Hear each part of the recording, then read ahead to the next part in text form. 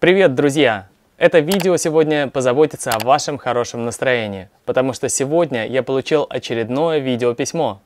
И в этот раз из Колумбии. Прекрасная певица Лигия Мансальви делится своими впечатлениями о выступлении на первом онлайн-концерте Алга Димаш. Я уверен, вам так же, как и мне, запомнилось ее великолепное выступление. Кстати, в описании будет ссылка на ее канал, я думаю, вам там понравится. Лично мне очень понравилась песня «Любовь, похожая на сон» в исполнении Лиги Мансальви на испанском языке. Так что рекомендую после просмотра этого ролика посетить канал Лиги и послушать колумбийскую версию этой чудесной песни. А сейчас для вас на связи Лигия Монсальве. Здравствуйте, мои дорогие Алга Петербург, Дерс и Димаш.